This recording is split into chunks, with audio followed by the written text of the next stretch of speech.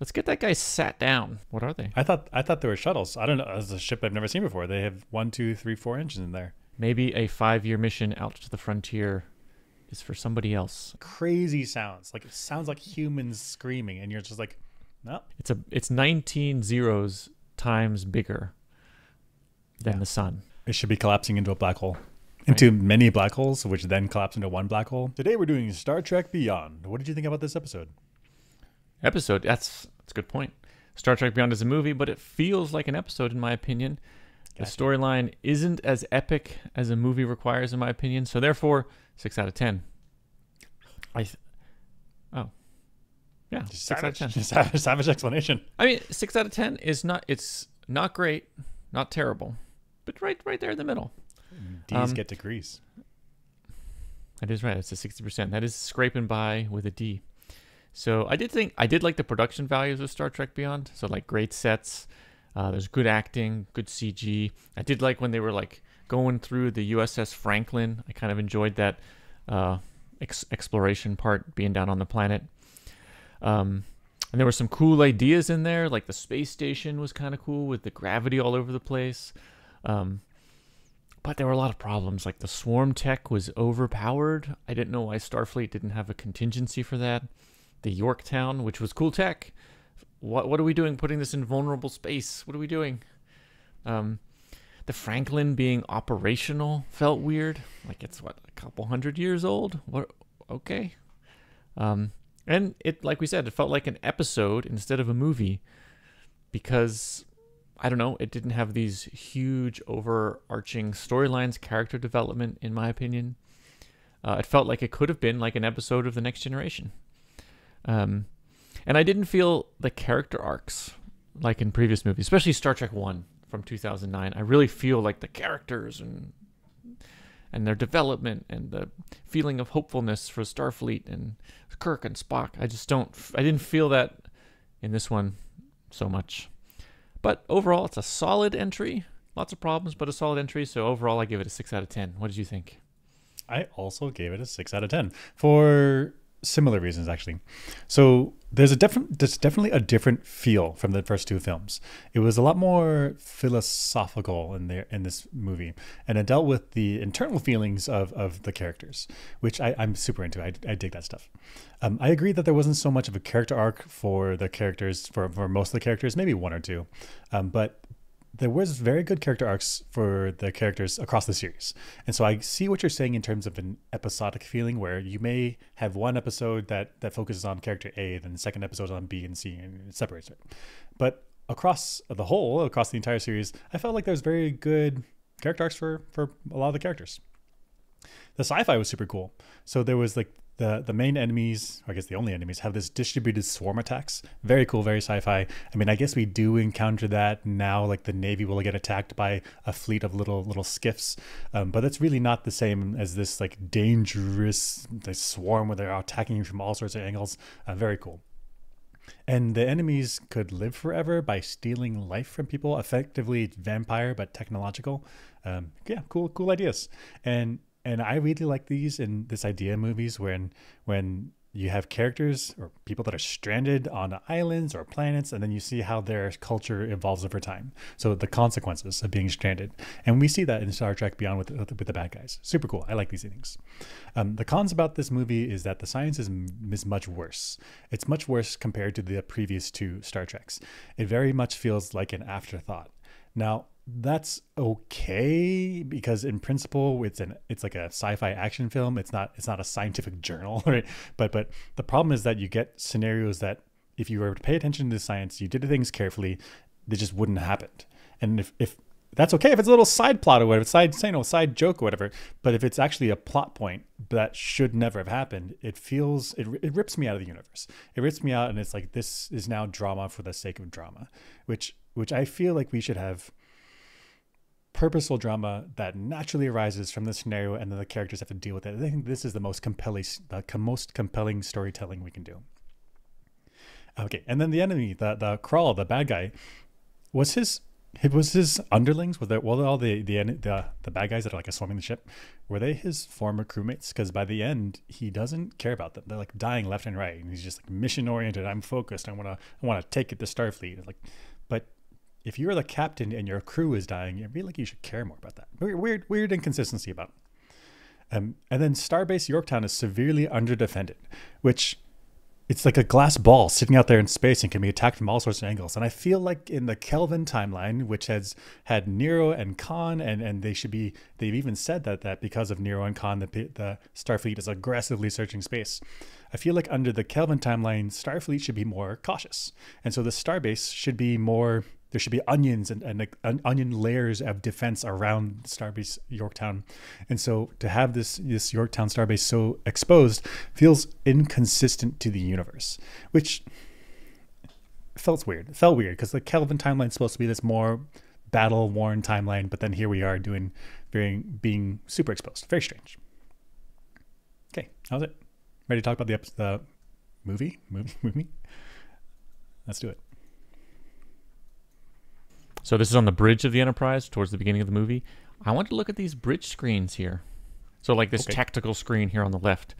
What is yeah, what are the Okay, so we got a big circle which and then we got three little circles Mm-hmm. Mm-hmm. and we've got like overlapping things on top of the like how can this is this a tactical screen?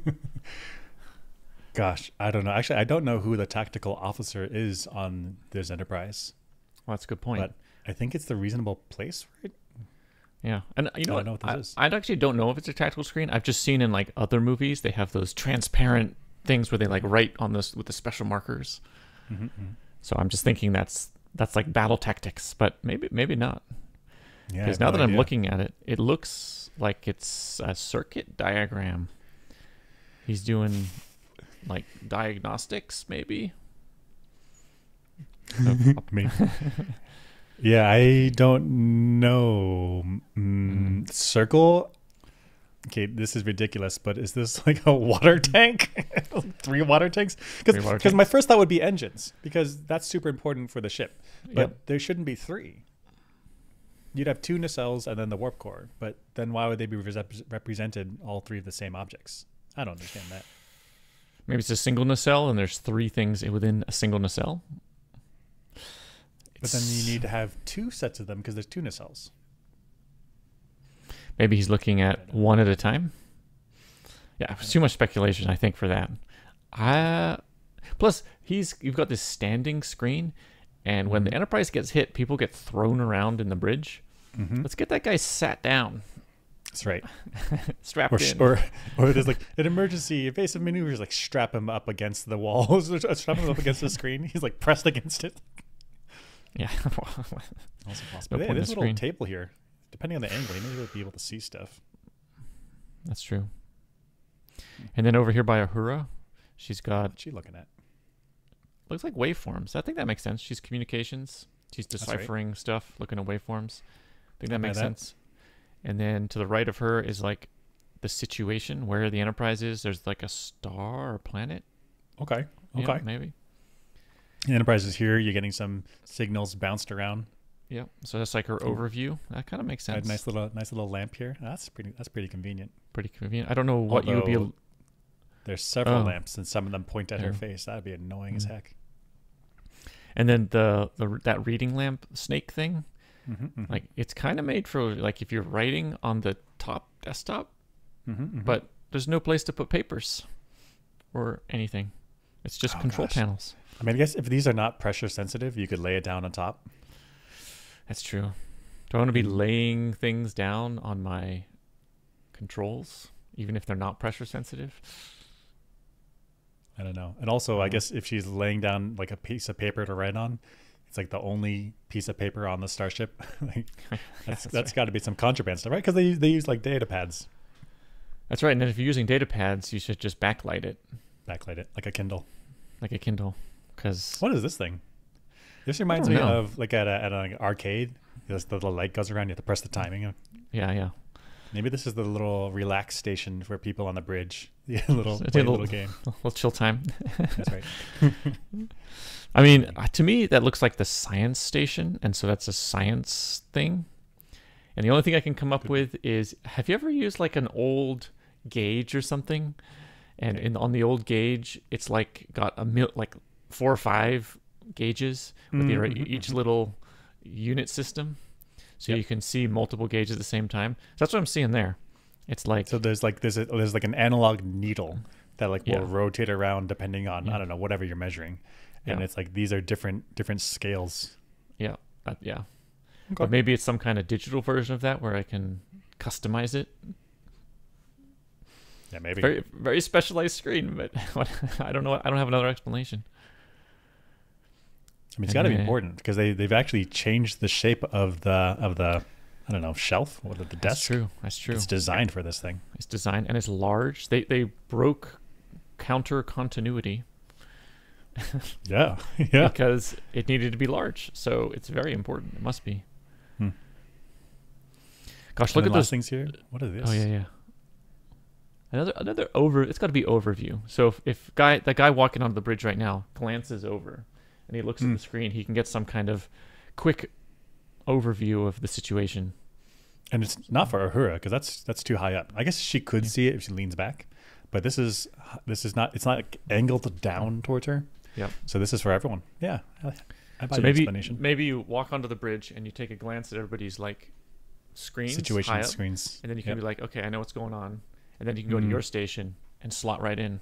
Okay. Actually, that's super smart. Th- hmm Right, because this guy who's walking on the bridge, he can look around at everyone's up up panels, top panels, Top and then panels. figure out what everyone's doing. And like, okay, Yep. okay, I know what the Okay, okay. situation is. Go back to my thing. hmm I like it. That's clever. Plus, it looks cool. So Looks dope. it's cool. Okay, the thing I don't like about this though is imagine being Uhura and working like this is your work environment, this is your your cubicle, this is where you're signed, and you just constantly have someone watching over your back, like right this Oh, because yeah, this guy's because this is a see through see through screen. It's like plexiglass or whatever. Just Mhm. constantly watching like. Yeah. You're like, Uhura, let me. wants a text her text message. Like, Yeah. you can't, you can't. the guy behind me is like, "Hey, get back to work." He's like, Yeah, yeah. I want to waste time. I want to watch a video. It's downtime. It's like, ah, I can't "Can't, because they'll see me. can't do it." I'm No professional. breaks. Not a single breaks. I guess this is the break thing. Come over here, play that light game. Like, press the Like- button. You're like, why are you misusing equipment? Ah, so Uh, obvious.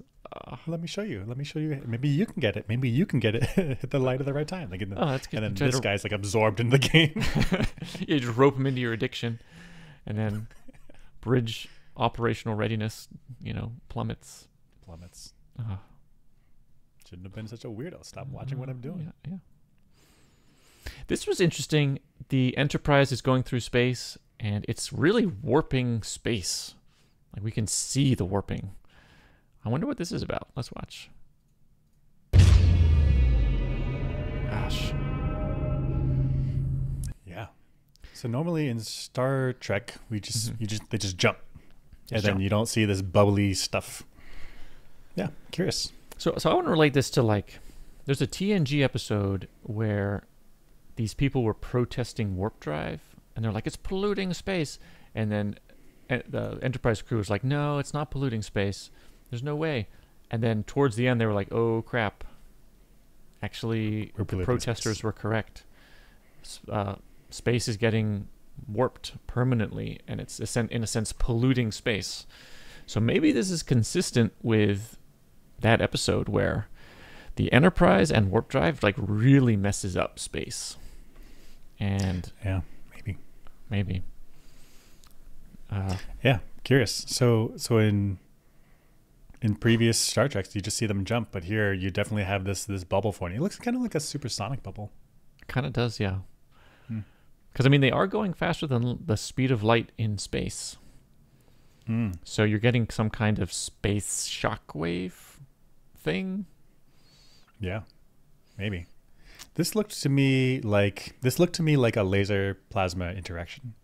So with the laser plasma interaction, you take a you take a, a volume of gas, you Mhm. you blast it with the laser, and the laser it's high energy, so the gas atoms absorb some of the photons and they ejected electrons. You get a little little positive bubble surrounded by negative electrons, and so you get a bubble.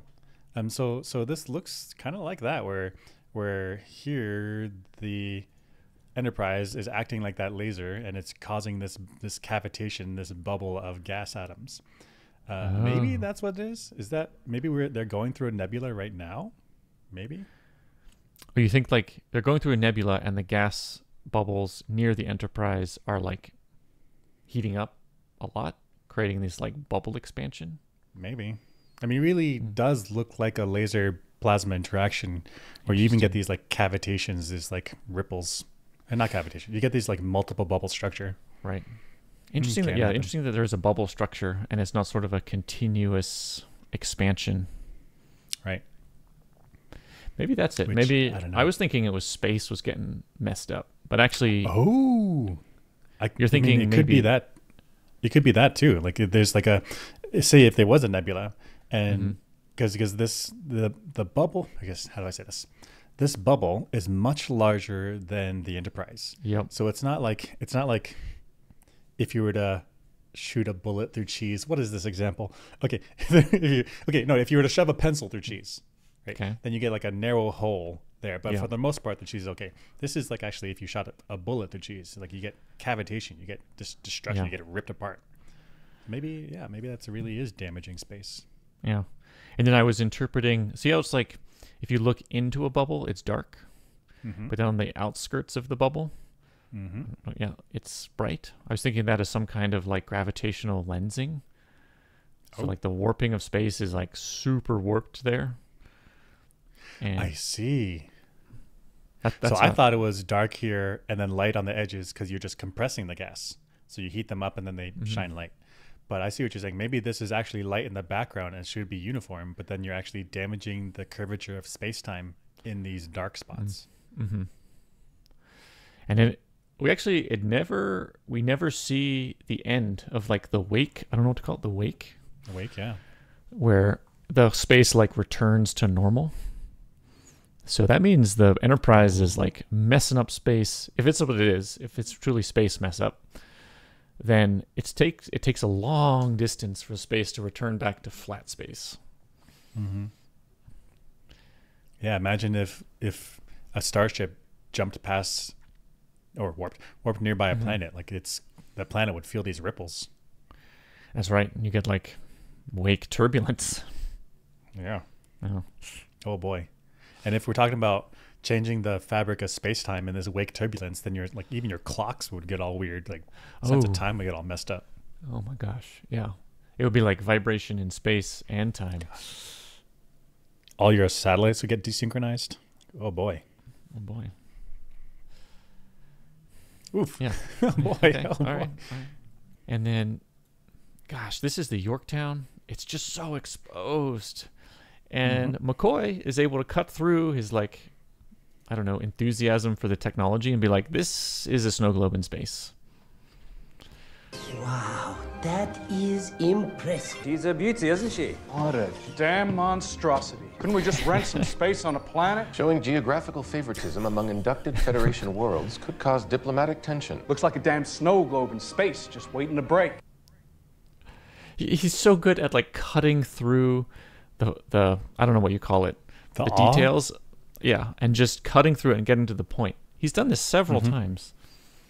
He's just, he's right. It looks in, it looks difficult to defend and it's ready to break. What are they Mm-hmm. So you get all these science nerds that are like, "Oh my gosh, look at the engineering! Oh my gosh, the possibilities!" But then you get a realist saying like, mm, "But there are problems right there. There's a problem right there. There's a problem." Yeah, and, and the, the space, the starship needs both of these personalities. But yeah, That's right. The way he cuts through it and then like, right down to like simple terms and like clearly here's the problem that I've exposed. Right. Super good. Right, because this it's a snow a snow globe has something inside of it that you want to keep inside. It's also fragile. If you drop it, Mm-hmm. Yep. it breaks. Yep. So he's getting the circular, like the sphericalness of it. He's Yep. getting it's the containerness of it and the Oh. fragility of it. Like Mhm. he's really he chose the right object to describe it. Spot on analogy. Man, if they had just had him on the Yorktown design and security team, it wouldn't have been a problem. It wouldn't be a s- it wouldn't be a snow globe in space anymore. That's right. That's right. I mean, gosh, if they put it near Earth in Sector 001, like it's super defense defensible. The Starfleet is out on the outskirts of the Federation defending it, and it's exposed like a planet. Sure, Yeah. but it seems like in this movie, it's like it's on the frontier. It it's, the population's too large for a frontier snow globe. It'll be relevant in the. We'll talk about this a little bit more as t- as we go through here. Oh yeah, one thing I wanted to point out here was look at the tessellation. Is that the right word? Tessellation is when you take a pattern and then you slide it, and then you slide it, and you slide it. Yeah. So the the tessellation on the glass or whatever it is on the outside Oh, outside this of this the you're talking about this stuff. Yeah. Okay. So so what is it? It's there's two types of hexagons being repeated So you get like a again. regular a regular hexagon, Yep. and then these two side two length hexagons. How do I say this? Long Yeah. side, short side hexagons. Yep. And then they're in some sort of pattern where it looks like there's this I don't know how you would make a unit cell for that. But I wonder why they chose that particular pattern. Was it is that a Yeah, good question. So yeah, so first thing was I thought this was like a soccer ball. What Yep. is a soccer ball? Soccer ball is hexagons and pentagons, mm-hmm. and you think it wouldn't work out, but I, it does. I mean, soccer soccer balls exist, and so if you were to hexagon hexagon, they were all the same hexagons. Then you then you wouldn't get a curvature. You get a flat plane, and then and then you get honey, you get honeybees, right? Or Mhm. honeybee comb. Or Hon- all honeycomb, bees, honey- all bees do yeah. this. You get you get comb, but I guess because when you get hexagons and pentagons, then then it somehow is the right shape to form a sphere. Mm-hmm. And so I guess that's that's I think that's what they did here. I mean, you start off with hexagons Yep. in like a tessellated 2D array, and then you start shrinking some of them, and then it curves into a sphere. That makes sense to me. It's just, yeah. I mean, I, I guess that has to be the motivation. You they couldn't make a giant glass ball with no, I don't know what you would call it, joints, hmm. and they couldn't make a force field thing. I guess, and so because if you ever have power down, then everyone dies. Oh, Like, no, gosh. you, you do want some physical structure. Yeah. So they need joints and they need Mm-hmm. glass of some type, whatever it is, transparent aluminum. And then, so this is the pattern they chose. They probably had lots of patterns to choose from, but this Ah. And is the then they from an engineering perspective, it's much easier to make the 120 degree angles than it is to make a hexagon that meets with a pentagon. So whatever whatever Oh. that thing is. I like yeah. that. Yeah. The angles were easier to manufacture. Mm-hmm. Easier also means more consistent, which means consi- yeah. higher higher security, higher strength. Yeah. Yep. Although Gosh. I wonder, I wonder, Go is it because because what is it the right shape? Because I could also imagine this being close to the right shape, and then you end up with like a flat spot on the bottom. Yeah. So I guess uh, then you might have like, I don't know what you would call it, like a shim shape, like a, to just fill in the Mm, the missing yep, piece if it doesn't perfectly tessellate on the so sphere. ugly, so ghetto. Yeah, you're just like, oh, put some Play-Doh right there, cover it up. Like, right? But maybe this docking thing, they can put all the extra space into this docking section, oh, and so any misalignment is lost into this, um, I don't know, opening for the spaceships y- to come in and out. Any misalignment, you just cover it up and you turn you turn the problem into a feature. Yeah, and it's like, oh, this is where we put a, the space Uh, dock. You just, space dock, come in yeah. and cover it up. Yeah. Yeah, and some mathematician comes along, is like, "That's not going to tessellate right," and you're like, "That's right." That's Why right. tessellate? But That's do you see how it exists? It's clearly working. Mathematician, sit down. Sit down, take a seat. Dang. Oh, I'm just asking a question. Sit down. Sit down. It's already Why- functioning. Yeah. Yeah. Yeah. Okay. Why, okay.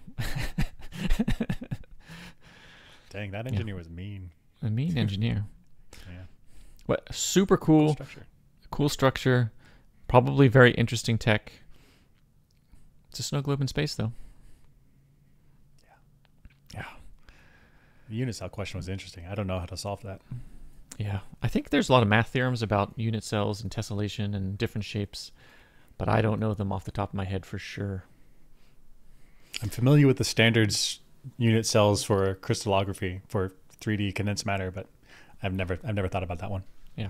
The defense procedures for the snow globe in space, which is the Yorktown, they're just inadequate. Because if we look at this picture right here, this the Yorktown is right there in the lower left. One of the sensors for incoming unknown objects is in the upper right, Mm-hmm. and an unknown object is in between them. This is damn close. I would want my my my defensive sensors and long range sensors like many light years away from the Yorktown, so right. I would have time to react when things are coming in at warp speed. The sensors they have here are just like right there. If some if a ship was coming in at warp speed, you'd never have time to react. They're on top of you. No chance. Yorktown's toast. I mean, heck, even if they're coming in on this impulse power or even thruster power, this thing is just drifting. So they got plenty. Th- this thing is just drifting, and it still got past the the sensor tower. Yeah, literally got past the sensor tower. So what the heck? Like it should nothing should be able to get that close that's not authorized. That's right. Man. I mean, heck, not only should there be one radius for the sensor towers, there really should be like an onion layer, like layers and layers and layers. And so there's there's sensor towers way on the outside, but then you but as something gets closer, it has to encounter one layer of defense, second Yep. layer of defense, third layer of defense, uh, because this these this is super exposed. It's super Yep. the the Yorktown super exposed. Like if heck, even if a bit of space debris comes zipping in. And so right. they're not going to detect it with like electronics. They're not going to detect like radio waves coming out of the ship. Like a little space debris can come in and damage this this um, atmosphere holding shell. Yeah, so you really have to have you really have to have lots of early warning. Especially especially because out of these these defense towers and out of the Yorktown, they scramble out runabouts, little like little shuttles for defense. It's not like they're scrambling out entire starships. Like the, the defense is super weak. Yeah, for something this high in population, you're gonna need you're gonna need a defleet, defense fleet of ships of different types for rescue, for defense, mm-hmm. for all kinds of things. And they just have runabouts? What? Right.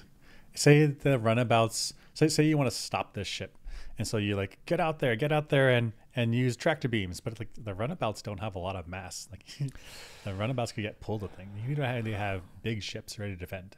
And and as you were saying earlier, if this was nearby Earth, okay, okay, because you could have Earth's fleet hanging out. But if this is out on the frontier, then this is super vulnerable. Super vulnerable. Hmm. In fact, I think we have video here of how the defense procedures go down when this thing drifts in, and it's all kinds of bad. It's so close. Oh my gosh. I have IFF alert on incoming vessel. Unidentified, non-Federation. Attention, unidentified vessel. You are not authorized for approach. Power down and await instructions. Unidentified vessel, please comply.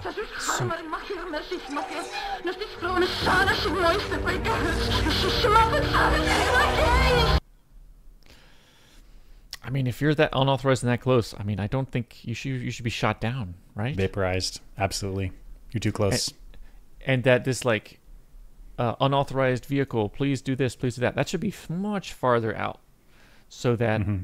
The crew of the ship that is supposed to be there has time to react and be like, "Oh shoot, my bad," but also gives the the defensive ships time to prepare, Mhm. um, so that when they make the decision to destroy the ship, it's like we went through layer one, we went through layer two, we went through layer three.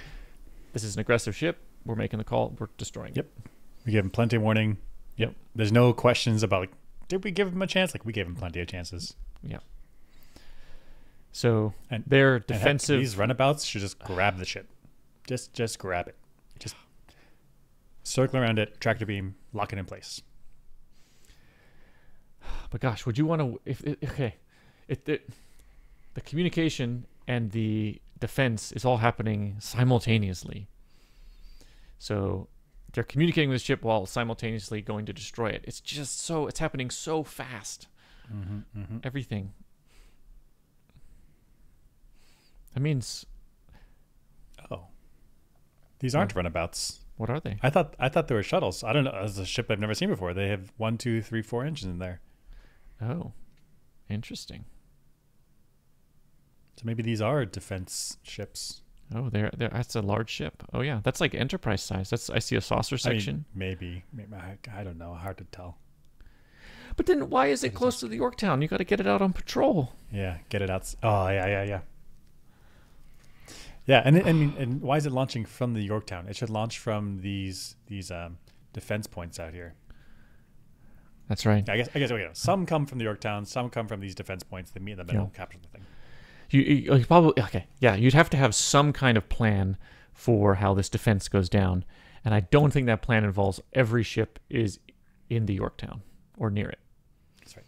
You're gonna have some out outside the Yorktown deployed in some kind of smart defensive grid.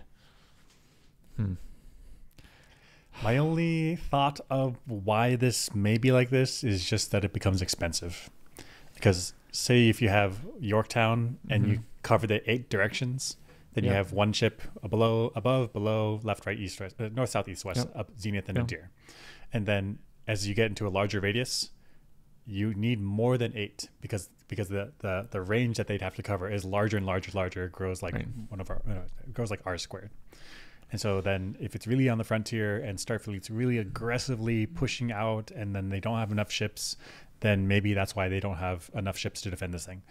Um, that being said, then this should be further closer back to home because it's just too, it's too risky.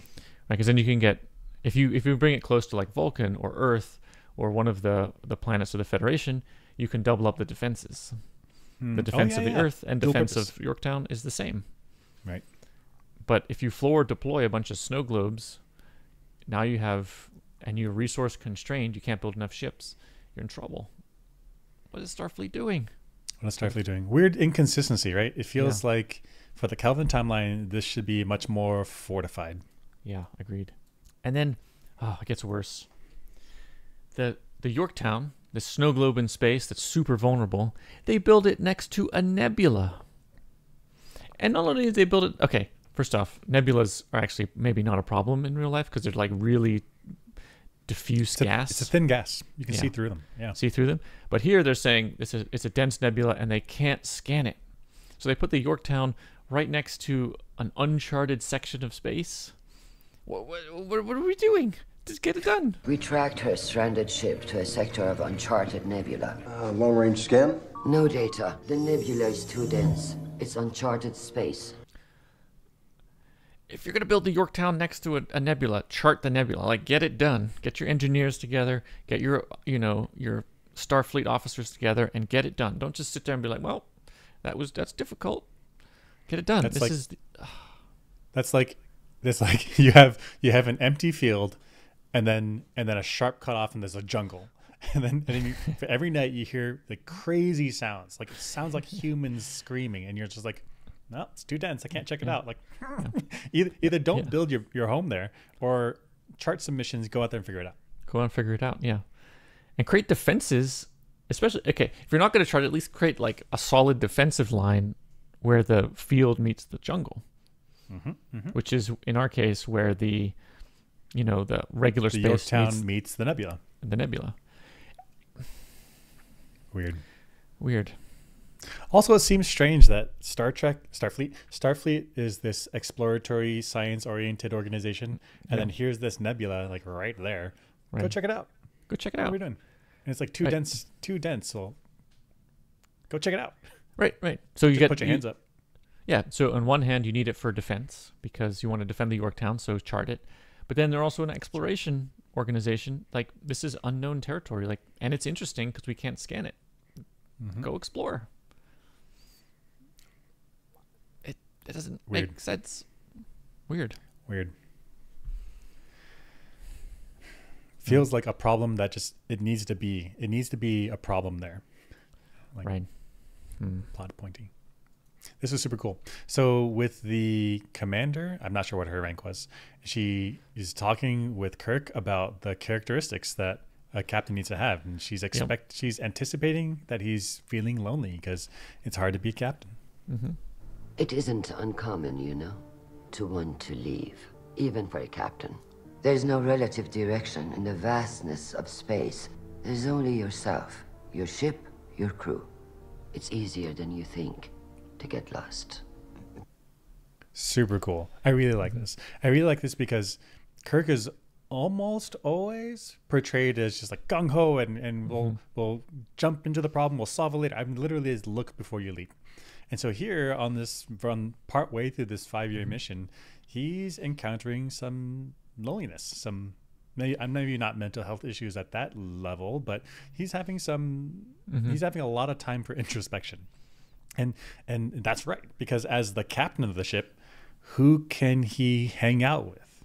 It's basically Spock and Bones, because mm-hmm. they're even though they're subordinate to him, they're they're his high up command structure. Right? And this is after earlier in the film when they showed other people having flirty fun and, and forming romantic relationships. But Kirk can't do that. Like this is a part of his humanity that he, he can't engage in at all because now that's your underling. Like that there's there's first there's power, power power issues, and then also he can't be in command of the ship if he's if he's unconsciously or even consciously thinking about like oh my girlfriend's in deck seven or whatever. Right? And so this is very cool. This is very cool because you need to have the right personalities for the right jobs. And we've seen in Star Trek in the 2000, I think it was nine, and then also in Into Darkness. This version of Kirk is very good at look before you leap. He's very good at take command, make decisions, and go into battle. Um, but for the five year mission, maybe he just doesn't have the right personality for it. Yeah, so it seems like they gave Kirk the five year mission, but they shouldn't have. They being Starfleet Command, because he's look before leap. He's a womanizer. He likes the social life. He likes being captain. He likes. He's very competent, but maybe a five year mission out to the frontier is for somebody else, and he needs to be closer to home with lots of shore leave, that kind of thing. But So look for look before you leap is great because they're going out into deep space, which is a is a little look before you leap. But does he have that internal fortitude? Maybe he needs the short leave, which is which- not not a bad thing. Like that's okay. no, not a bad thing. It just the right he would- personality. Yeah, so he would be deployed closer to the Federation planets Yeah. as a captain, not necessarily exploring. But just just not just not deep exploring like that, where That's you right. get that that real loneliness for extended periods Yeah. of time. Where who can he confide in? Confide in with? Who can he talk to Mm. on basically McCoy and Spock? do you think a a captain and crew that goes on a long term mission in and from Starfleet, they need to have like be married and have families and stuff that come with them, so that they're they're like, we're not looking for social life, we're not looking for shore leave, like this is our life that we've built, and so we're gonna go explore. It's peaceful. We're not looking for danger, so our families are along for the ride, and so we're all healthy and happy. So that's that's interesting question. So how would having a family with you affect your behavior as a Starfleet officer? I would imagine that you would experience less loneliness because you got your Yeah. family there with you. But also, I think you would be less willing to take risks, Yep. which is maybe good for deep space exploration. You know, just go out there, check it out, write down anything interesting, and come back and leave, leave quickly, right? Because you're out and you're not supported. The bad side of not taking risk is there may be some risks that you want to take while you're out in space, and then you would have a crew that's averse to that. Um, pros and cons. Maybe there's a right balance in there. Right. I mean, at some point, somebody's gonna have to put their life on the line. If it's exploration, you are more risk averse than some sort of gung ho military squadron. Hmm. So maybe it does strike the right balance to have families on board. You know, I don't know. Maybe don't that's why in TNG they have families on board. That could be why in TNG they have families on board is because it brings the crew. The crew doesn't need to worry about like I need shore leave. I need to go back home. Like no, I am home. Yeah, I see my my, kids growing up right here. Yeah, they're going to school right here. Hmm. I have, Hmm. you know, my family here, and yeah, I'm good. Maybe maybe from deep space missions like this, this is why in TNG they have Deanna Troy to be the ship's counselor. Oh, and they haven't implemented that yet. In this, Could be. in the in the the regular what the original series, or in this case, the original series timeline. Mm-hmm. So- time The, in the Kelvin timeline, but the original series time Date. of date. Yeah, yeah, yeah, star the date. date. There it is. Star date. Yeah. yeah, They haven't implemented the counselor yet, and that'll help in the future. I like it. Okay, Mm. Yeah, are we yeah. we're explaining why there are families on the Enterprise? Yep. and we're Enterprise D. explaining Enterprise D and some lessons learned from like maybe captains and officers are having mental problems so throw a counselor on there Mm-hmm, and then it resolves some of the problems they've encountered for exploration missions in the past that have been implemented in the Mhm. TNG Deep Space Nine Voyager timeline or time date, star date, star date. Start date. Yep, yep. Twenty three hundred, like whatever. Yeah, yeah. Mhm. I like it. Um, but put the counselor in a standard uniform. Yeah, put the counselor in a standard uniform. This is wild. So after the Enterprise has been doing a retrofit in the Yorktown, they're like, okay, it's time for us to go on a mission. And they, they like launch. They launch so aggressively. It's so dangerous. What are they doing? Locked in, dialed in. Yep. What, what are we doing? we don't need to do this. There's no reason. Lieutenant Uhura, open a shipwide channel. Super calm though. Super calm. Very nice, Kirk. Sure, yeah. Yeah, we don't need to be doing this. So just just go through this launch tunnel at a Yeah. reasonable, slow, you know, impulse, you know, one quarter, one eighth impulse. Yeah. Just just drift out. There's no need for this urgency. If they were, if this was like a combat ship, like in like in Battlestar Galactica, or or on like modern naval carriers, I get it. You gotta like launch out, get out there fast, get into combat, go go go. Yep. Um, but this is not this. This is you got plenty of time. Just get out there safely. And then once you're outside, now you're full impulse. So then you get to warp speed after that. I didn't. I didn't get it. But It- but, but also I guess one more one more thing. So so in Battlestar Galactica, you had these like launch tubes. Get, Yep. get them out there, get them out fast. Now in on carriers, yes, get them out, get them out fast. But really, the key point there is get the the headwind, so that way you get lift. But for the Enterprise, you don't need lift. It's a spaceship. That's right. You don't need you don't need additional speed. It has the engines to get up to speed. Oh, you, you, know, when don't you don't you don't have aerodynamics. You don't need Yeah. wind speed. You don't Right. need knots. You don't. No, And in battle in Battlestar Galactica, they launched them to a high speed because they want them to get away from the Battlestar Galactica fast. oh, because the because the Battlestar is taking attack from the Cylons from the base Right. So you don't want them to get in the. You don't want to get. You don't want the Vipers to get hit by stray shots. You want to get By them away, shots, and then they get- can curve in and attack. Right, exactly. So get them away from the ship, and then they can deploy. But this isn't that situation. This is not a combat situation. First, and the tube isn't clear. Like right. there's like stuff. docked, and like if there's like a dink, That's right. Someone over here like loses a wrench and then it drifts and then it gets into a nacelle. Like Yeah, if if you're going to do this kind of launch, like why not have a dedicated launch tube? It's nice, clear debris, clear of everything. We're cool. You're like simultaneously docking and maintenance and all kinds of stuff while launching ships. I mean, this is just a coordination nightmare. a nightmare. The only the only resolution I can come up with that is that maybe this is just like the end of the tube. Like this is like the very very you've loaded up your spitball at the very Mm. end of the straw, but you got a bunch of other things behind it. Weird. Weird. Well, weird, well, let's march it forward a little bit. Is okay. So I see there's docking and like there's like sh- Oh, gosh, commuter ships going. ships moving around here. Yep. Ships moving around. Okay, I still see infrastructure. Still see infrastructure. But no more ships. No more no more No mm. right? more- No more sh- this yeah, might no more be ships. might be okay. Ah, it's Still still looks so cool though. it's so cool. What is this room? It's still a little like walk it out. Like is Yeah, just inch it's it out. between like 20 second, 10 seconds versus 5 minutes. That's right. So yeah, that's right. It's, we're, it's not so urgent. What do we do? So this is looks like a big cavernous room. Yeah. Okay, so let's walk it through me. There's a little tube Yeah. opens up to this room with Yeah. these guys. I don't know what they are. Don't know what they are. And Yeah. then it closes back down to a small tube.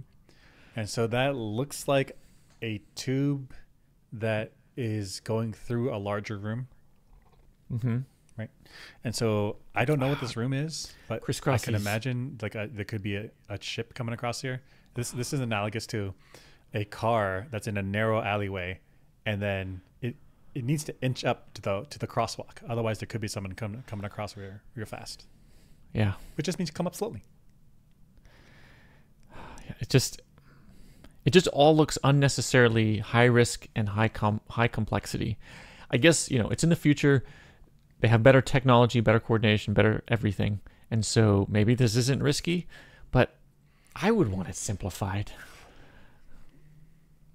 Like yeah, just just go a bit slower. My other thought was maybe this is time lapsed, right? So maybe they are going slow, but then I didn't see any sign of it. So what I used was I looked at these ships, and they Mhm. look like they're going just constant speed. Like there's no clear like. Mhm. Now we turned on our time lapse. We're going faster. That's right. And they look like they're going at a reasonable speed, trying to get through that tube reasonably. I think it's just launch. Just launched. I don't get it. The Yorktown is just a high risk place no matter what. They just they're just want high risk at all times, adrenaline rush. Starfleet is bored. All this, this would be cool though if they're ever attacked and they're like, get the ships in the launch tube. Pew, pew, pew, pew. That's true. But they only have one launch tube, so it's one at a time. If the first ship has a problem, then all the other ships behind it are stuck. Yeah, in that case, you would want all of the docking infrastructure to be on the outside of the Yorktown, so that all the ships can dock right on the edge. And if an enemy is in, you know, coming, you just launch. Launch them out. There's, there's just no turn them around, point them out. Mhm. There's no like traffic jam inside where it's like I gotta launch and I can't because, you know, I got to. You know, they're all there, Beep, ready to go. beep, they're just- just- just honking. uh, okay. Yorktown.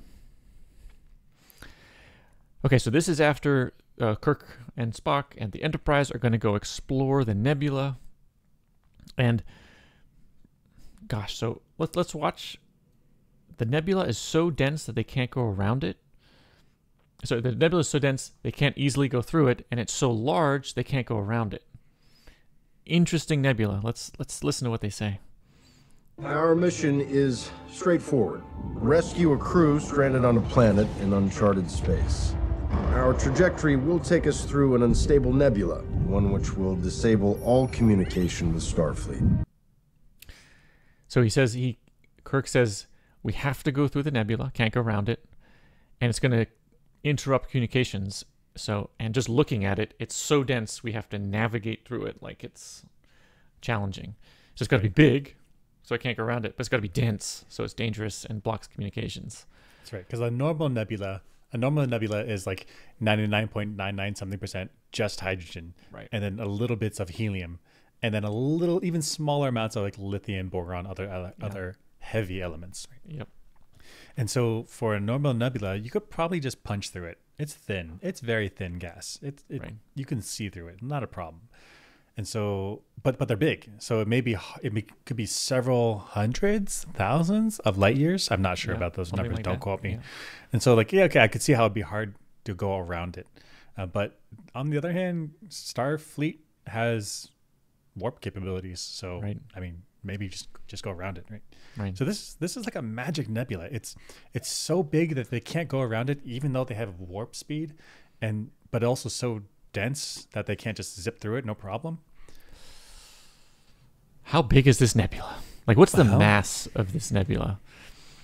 And uh, yeah. Let's let's, estimate let's do it. Let's do it. Okay, so our goal is to estimate the mass of the nebula. Yep. And so our knowns is a bullet point that we didn't flesh out. Yeah, I think we don't. I think we don't. Well, we don't have any knowns actually. We don't have any knowns. Okay, that's we right, have that's to, we have to we have to guess densities and masses based on the Enterprise and other things they've just said. So So let's make some reasonable estimates, see what we get. So if we want to figure out the mass of the nebula, we need to know the mass density of the rocks. Yep. And while we're not there, we don't know what these rocks are. We can estimate it, maybe Earth-like rocks. And Yep. so that's 500, 5,500 kilograms per meter cube. And yeah, there Yep. are some rocks that are more dense than others. There are some rocks like like shale that's a fairly low density, but not like a factor of 10 to 100. And and and where we're going to get to, even if we've underestimated by a factor of 100, not going to matter. That don't matter. And certainly from the pictures, it looks like rocks. So Oh, we're not like talking rocks. like Yeah, right. yeah, we're not talking like diffuse gas. We're talking rocks. Solid, solid objects. Solid objects that the Enterprise needs to worry about, even if they have shields, they need to worry about getting banged up. Banged up, yep.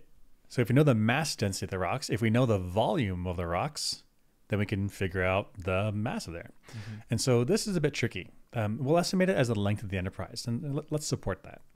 So here, from this picture of the nebula, um, a little bit tricky because there's some forced perspective. These rocks are closer, and these rocks are farther, uh, further, farther, either way. Yeah. And so let's try to look in the same plane, the same like rectangle as the Enterprise. So the Enterprise, we looked it up, is what did we say? It was 300 meters. 300 meters. Yeah, looked it up 299 on. 289, 300. Yep. And so the nebula needs to be dense, but not too dense. If it's if it's not dense enough, then the rocks are far apart, and Sulu's like, yeah, no problem, I'll just fly through this, right?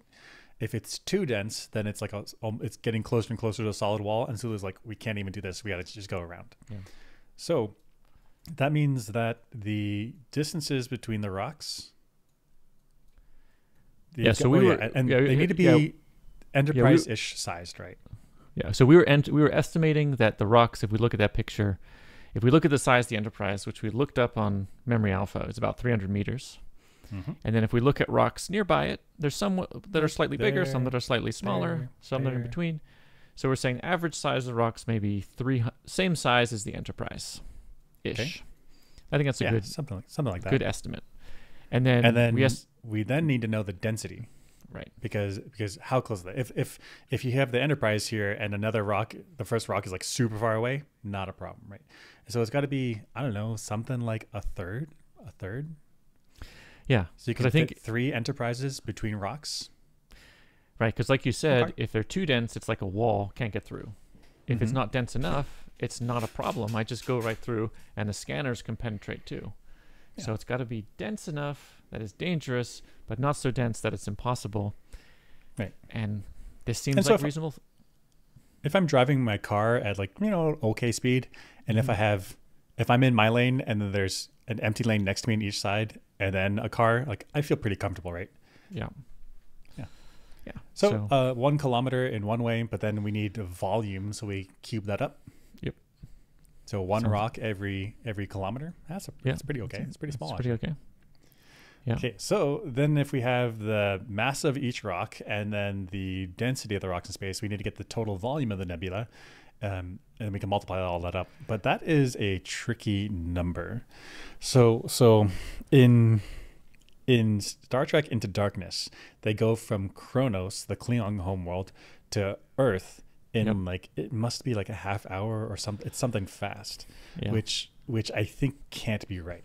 it, it can't be right because that would mean it would be this nebula would be several light years in diameter, and Gosh. Yeah. it can't be right. That's enormous. That's that's enormous for for rocks this size. Yeah. So Yeah, so what- make a low end guesstimate? Is that was that what you're gonna say? Uh, yeah, that's what I was gonna say. is We should let's stick with the light year first, Okay, and so let- see what kind of numbers we get. Yeah, Okay. because I think one light year is a low end because if it was one light, if the nebula was one light year in diameter, then the Enterprise could easily go around it. Let's go around it. Let's go around it. But we are unsure, so let's make this as the low end estimate and see what kind of mass we get. hundred thousand million billion trillion quadrillion so 9.4 quadrillion meters so big sure big big but it's a low end estimate. Okay so now that we have the radius of the nebula we can do a volume estimate and we're not going to worry about that four thirds in pi we'll just cube it up we, we have a cube nebula that's fine um, but that's still that's still 8.5 times 10 to the 47th meters cubed what is I have, I have no concept of what this number is it's so enormous It's so enormous. f- to- to- Uh, but- 10 to the 47. Damn. But it's space. It's space. Space is big. Maybe Space- that's space okay. Yeah. Maybe that's, maybe that's okay. Yep. Okay. So then we can now get the number of rocks. So if we have the density and the times the volume, we can now we can we can multiply the volume by the density here, and so you get eight point five times ten to the thirty eighth rocks. Again, an enormous number number of rocks. Well, what is what is a mole? A mole is times 10 to the 23rd. Right. So this is an absolutely gargantuan number of rocks. Yeah. Yeah. Yeah. 15 okay. So okay but but it's a number whatever it is. I mean my my intuition breaks down. That's okay. We trust the numbers. We've had good good arguments thus far. Mm-hmm. So now we can get the mass of the nebula. We just multiply this all together. So the number of rocks times the mass per rock. And so this gets us a number that is this. That, that is this. Just multiply all the numbers together. Yep. 1.6 times 10 to the 40, 49th kilograms? Yep. i have no idea what that is Yeah, that's just it's So- just a big number. So let's put this in some context here. Yeah. So let's look at Sagittarius A star. Sagittarius A star is the supermassive black hole in the middle of the Milky Way. I don't know if it's the the largest. Uh, I'm not I'm not an astronomer, but it's it's a supermassive black hole. It's Um, huge. Sagittarius A star, whole Milky Way is going around it. Mm-hmm. So that's 4.3 million solar masses. That's 4.3 million times the mass of our sun. Yep. Okay, so let's let's we're working in kilograms over here, so let's convert. So now we have one solar mass. It's two times ten to the thirtieth kilograms. I mean, I mean, first off, look at the comparison between the solar mass, which is times 10 to the 30th, and the number we got. The number we got is what is it? Times 10 to the 49. Oh, 49. So Yeah. we're, we're we're which which is which is 19 19 doesn't sound like a number but it's it's 19 zeros it's Yeah. it's it's a it's 19 zeros times bigger than the sun. This Yeah. is getting comical. oh oh it gets worse okay let's let's let's put it in it's push Yeah. it through okay so sagittarius a star is equal to this times kilo, this many kilograms 36 so that means if i divide the nebula by the mass of sagittarius a star we get what is this hundreds thousands millions billions trillions 1.8 trillion supermassive black holes that's Yep. 1.86 tera sagittarius a stars this is enormous this this is, this is absolutely enormous And in fact, I think we looked it up. This is like much bigger than the mass of the entire Milky Way itself. That's right. So it's, it's more mass. There's more mass in this nebula than in all of the quadrants combined. All alpha, beta, delta, and, and gamma. Yeah. All the quadrants combined, there has fewer has has less mass than this one mm. nebula. Yeah. So this is a statement about space is really, really, really big, and it's you Yeah. cannot fill. You being like, I guess, God who created the galaxy cannot fill this tiny area, tiny, relatively tiny. One light year is rel- is super tiny on the galactic scale, mm-hmm. with any with dense mass. You just can't do it because it's it's too much mass. It's too much mass. It's not just too much mass. It's like an absurdly large amount of mass. It's it would collapse into the most massive black hole of all time. Yep. It should be collapsing into a black hole, into many black holes, which then collapse into one black hole. Maybe the whole quadrant is wrecked. Or the, not the whole quadrant. The entire Milky Way is wrecked. Is wrecked by this this amount of mass here. Also weird. Now that I'm, now I'm thinking about it, why are there rocks? If it's a nebula, shouldn't it be hydrogen helium? I mean, they called it a nebula, which when I think of a nebula, I think of diffuse hydrogen helium gas in like these Diffuse big meaning like thin, like thin, thin, thin gas. yeah, it's like I don't know the density, but it's like hundreds, thousands of particles per space per cubic meter. It, Like, it, if you if it was replaced with oxygen, you could not survive. easily, yeah, you would. It's essentially a vacuum for most applications. A little bits of gas. Hear about Little that, bits it's of mostly gas. just empty. Just If you, if you if you need like a hard vacuum in the lab, I think it's not good enough, maybe. But I think for a lot of vacuum systems that we create in the lab, a, a nebula is plenty of a vacuum. So it's like slightly more gas than the rest of the galaxy. It is not like rocks slamming into each other. So my So- my thoughts are if there's rocks, then it's not hydrogen and helium. So that means this is all star debris, because in order for there for there to be elements that are heavy enough to become rocks, that means it needs to have come from a star core. Um, in which case, then shouldn't this be blowing up and expanding? I don't know. But it, know but it's it's it's super weird because in a exploding star, it's still mostly hydrogen and helium. That's right. So when It's- a when a star explodes, so if it's small, if it's a small star exploding, then you get rings of hydrogen, helium, and then I think lithium is other the next stuff. one. Yeah. yeah, yeah. You, you get rings uh, that are sorted by their their atomic mass, and then in the core you might have an iron core, Yeah. or maybe a, a neutron core. Um, or if it's a supermassive black star, you get you go straight to black hole. But in all of those, it's expanding outward, and and it's a gas or plasma. It's, it's, a not gas. rocks. That's right. It's not not- solid right. because for the rocks to form, it needs to be cool enough and dense enough for the for the atoms to to form together. But inside of a star is hot. It's a plasma, so it's it's like individual atoms blasting out. So there's really no way for this nebula to form, and it's wildly unrealistic in terms of mass, and size. In The fact, this was, a, Milky Way. this was an underestimate. This is a size that the Enterprise could easily just go bip around. Right. It's- this was a conservative estimate right here in this light year. Yeah. And we could mess around with some of these numbers, but we would have to mess around with them at such a scale to get that number any to anything realistic that I think we just have to declare the nebula itself unrealistic. Unrealistic. Which is the bummer because it's super important that it Yeah. be this dense and this large. Otherwise, nothing else like happens in the movie. That's right. They need it to be uncharted. They need it to be um, Dense that you can't see through it, that you can't communicate out. Yep. It needs to be dense such that they've never been explored before. Yeah. Bummer. Bummer. Big bummer. Okay, but cool though. I mean, also cool. Like super massive, super Mhm. massive nebula that has more mass than the entire Milky Way. There's got to be some minerals you can mine from there. Aye. Yeah. Uh, maybe maybe some ancient civilization was like, we're gonna make this, and then they, but the tech in this in the space was preserved, so it doesn't collapse into a black hole, and it's like spawning rocks from space. I don't. Maybe this is some ancient, ancient in, alien, ancient aliens like trash hole. Just throw all this stuff here. Oh, oh, okay. Okay. Maybe I don't know. I don't know. They put an anti-black hole device right there, and they just throw their trash in. That's right, because a black hole is well, how you gonna how you gonna undo that? But if you have a un, impossibly dense region of space trash, mm-hmm. yeah, you just keep it there. Keep it there.